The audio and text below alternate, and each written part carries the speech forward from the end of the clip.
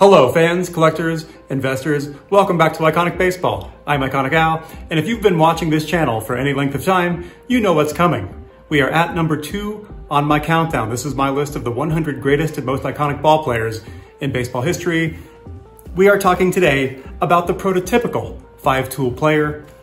His combination of power, speed, and defensive prowess has and will never be duplicated. An argument can be made that this man is the greatest all-around ball player in baseball history. I am honored to introduce the greatest living ball player on planet Earth, the Say Hey Kid, the incomparable Willie Mays. Take me out to the ball game. Take me out with the crowd. Buy me some peanuts and cracker jack. I don't care if I never get back. Let me root, root, root for the home team. If they don't win, it's a shame. For it's one, two, three strikes, you're out at the old ball game. Say Willie, say hey. Say who? Swinging at the plate, say hey. Say who? Say Willie, that giant kid is great. When he hits the ball, it's long gone man. Hits it farther than Campy can. Swings the bat like a little lead pipe. When they reach the ball, it's overripe. Say hey. Say who? Say Willie. Say hey. Say who? Swinging at the plate. Say hey. Say who? Say Willie. That giant kid is great.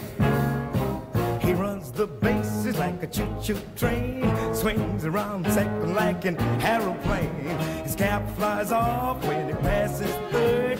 And he heads home like an eagle bird. Say hey. Say who? Say Willie.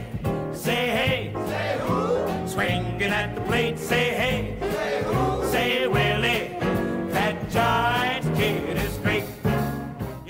Born in 1931 in Westfield, Alabama, Willie Howard Mays would go on to become the greatest all-around ball player in baseball history. He was the complete package. His greatness cannot be overstated. During his long, prolific, and productive career with the New York Giants and the San Francisco Giants, he compiled a staggering 156.1 WAR.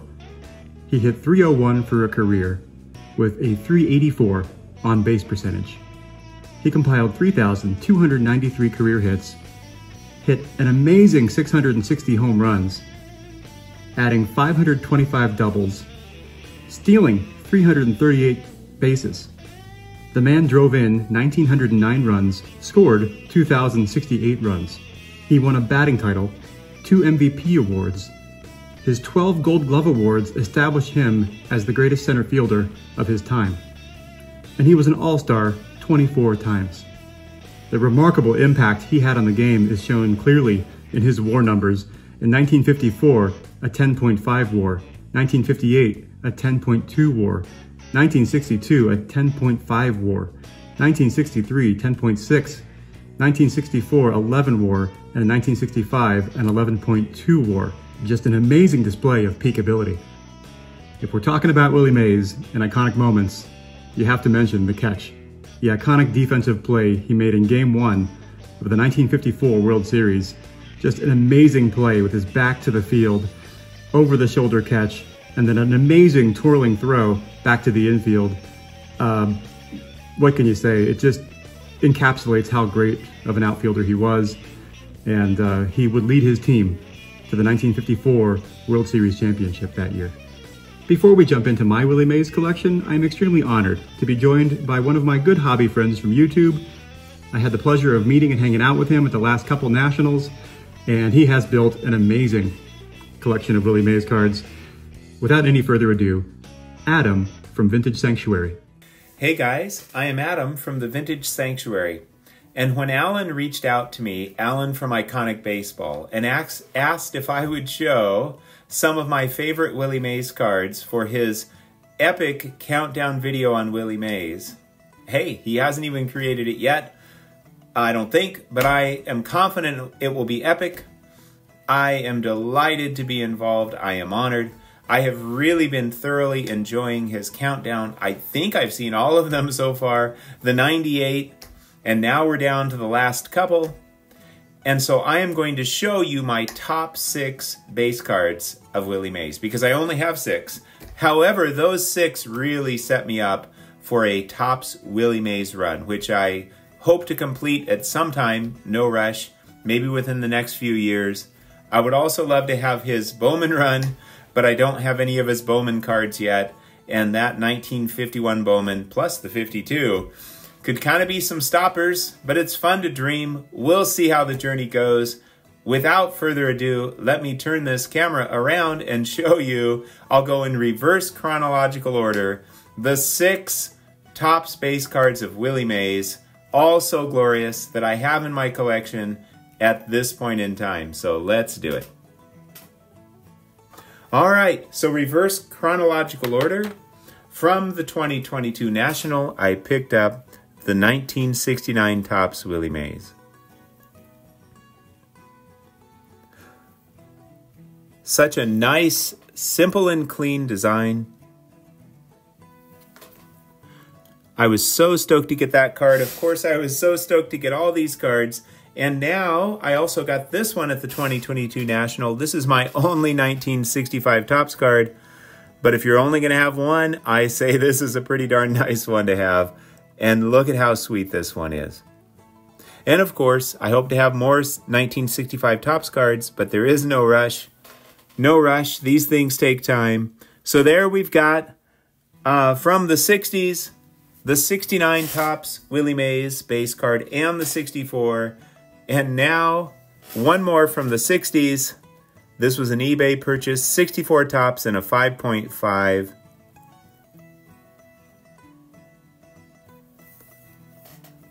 I mean, to me, I am always so stoked. So stoked when I can add a Willie Mays card. Well, so stoked when I can add any card that I'm stoked about, which is pretty much every card I get because I only buy cards I'm stoked about. So therefore, I am so stoked. Now, the card I am about to show you was a PSA 2.5 with a little blemish that turned out to be on the holder. So I crossed it over to SGC just to see if that blemish was on the card or the holder. SGC bumped it up to a three on their grading scale. I mean, talk about the definition of absolutely glorious. This card is so nice for the grade. This might be, uh, you know, the nicest smile. I know this image is also used on his uh, 55 Topps as well as his 56 Topps. But it's one heck of an image, that is for sure. And I love the backs. I absolutely love the backs. Absolutely love the backs of the uh, 54 Topps. And now from here, I tell you the next two, you know, as far as what is the favorite Willie Mays card of my collection, I could say it's the 54. That card is so glorious. I could also say it's this one. This card is, to me, uh, one of the most, you know, significant vintage cards in the hobby. It's one of the few action shots from 53 Topps. It's a high number. It's Willie Mays, his famous basket catch. I mean, this card to me, I know it's kind of a spendy card, but I actually think it's undervalued. But I guess I probably think hey, if I like a card and I buy it, I probably think it's undervalued, or at least I was willing to spend, you know, spend the money on it uh, based on today's market. So it has value to me, that's for sure. Now, the one I'm going to show, the last one, this is definitely my favorite, although, although the two you're looking at right now, I mean, those are just right up there. These cards are so glorious. This one, I got at the 22 National, 20 uh, 22 National, my first National. It was my big pickup. It was in a PSA authentic, not authentic altered, just authentic. I couldn't figure out what was wrong with it. Sent it to SGC after I had owned it for several months. And lo and behold, nothing was wrong with it. Oh, the purple. And this card, no snowing, no wrinkles, no crinkles. Well, it's got a little indentation or whatever there, kind of by my thumb. But I mean, you know, wow. The way it presents, yeah, it's off center, but wow, is it sharp. And is it clean and, and is it vibrant? So this, this is my dream card right here. For sure, little factory kind of wrinkle here that's just on the back. This is my grail. This is actually my grail card, the 52 Topps Willie Mays. And then the 53 I'll say is a dream card. Those are two of the favorite cards in my collection. There's lots of cards I could call favorites. The 52 Topps Willie Mays, definitely my favorite. Let me turn this camera around. Thank you everyone for sharing in my joy. I don't want to make this too long. It's going to be embedded into Alan's epic video. So Alan, thank you for having me. Now everyone, get back to Alan's video and I hope you have a wonderful time over there and share in his joy as he uh, moves us through Willie Mays and shows us his epic items. Take care, my collecting friends. Thank you so much, Adam, for that wonderful cameo. You did not disappoint, my friend. For anyone that's unaware of Adam's channel, it is Vintage Sanctuary, so be sure to check him out. He has such a unique and genuine passion for collecting. So, Vintage Sanctuary. All right, on to my items for Mays. Thankfully, there's no overlap between Adam's Mays collection and mine. They're, mine are all different from his, so that's kind of cool. Um, let's start from the edges and move to the center here. This is the 1961 Topps Willie Mays, one that doesn't get a lot of love in the hobby. The 61 Topps design is kind of unremarkable, in my opinion, but the image is what kind of sets it apart to me. Now, this is the only Mays image in his entire run where he isn't wearing a hat. And I think it makes that portrait hit a little bit harder. It's kind of a candid, unguarded expression uh, on Mays' face. And, and being without a hat, I think it really shows the man. Uh, it looks kind of contemplative.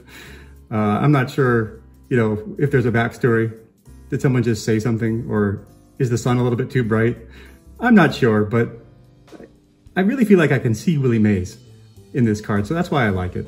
Uh, a lot of people don't like this card. I really like it. Uh, it's one that I've had for a long time because I really feel like I can see Willie Mays here. Um, but it's just a really nice example of the card. It's in a PSA 5.5 Nice, clean, crisp example. And it's my only 61 Topps card in my collection. Okay, let's start from the other edge. This is my Mays Relic. This is a 2001 release. Upper Deck Legends, Legendary Lumber. And this is a really quite an affordable card. Uh, the last I checked, this was like a $30 card. And uh, this comes from that 2001 early relic period where, sure enough, it says from an actual MLB game. So this is sort of verified to be actual lumber from a Willie Mays game used bat, which is pretty cool. And the fact that these are still somewhat affordable at 30 bucks or so, I think that's a pretty good buy. Couldn't argue with that price. And it's just a nice presenting card from that early relic period. Okay, moving to now my really my most favorite Mays items. The 1954 Bowman, which again, this image I believe is the same smiling image that's used on the 54 Topps, and I think the 55 Topps as well. This is just the zoomed out image where you can see his full body. But 1954 was significant for Mays in many ways. This was the year he made the famous catch. It was also a year that the uh, New York Giants won the World Series, was also his first MVP season. So uh, I love having a 54 Willie Mays for all those reasons.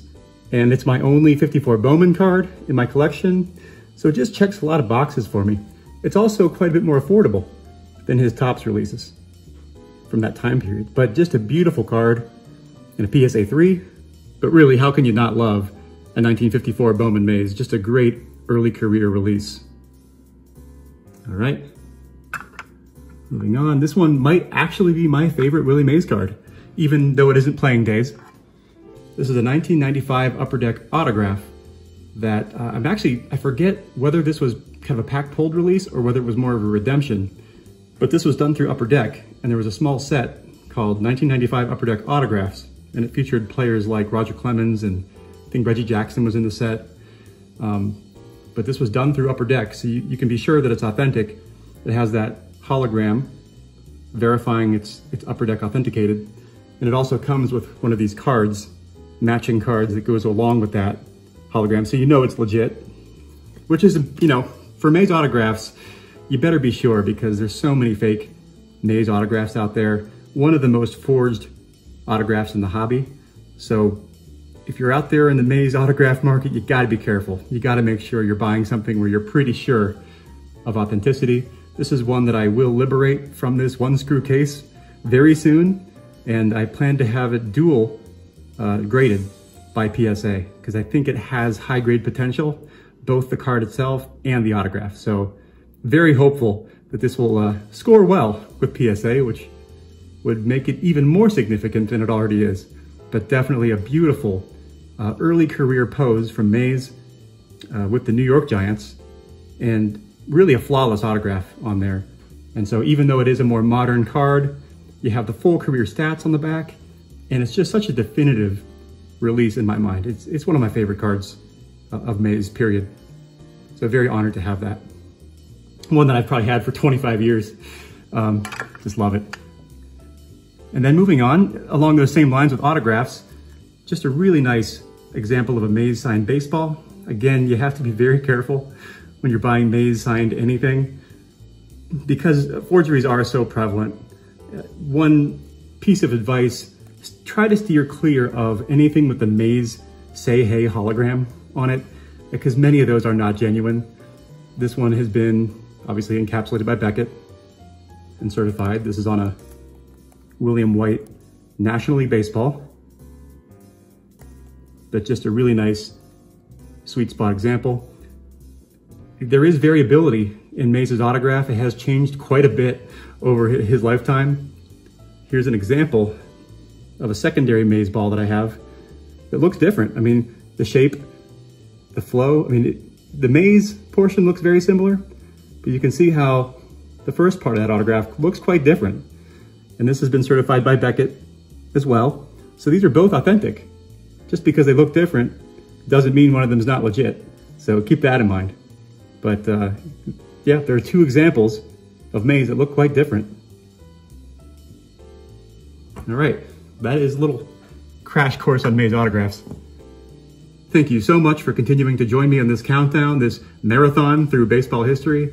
I think it's pretty obvious who's coming next, but I'll leave you in suspense for another couple weeks. Until then, keep collecting and stay iconic.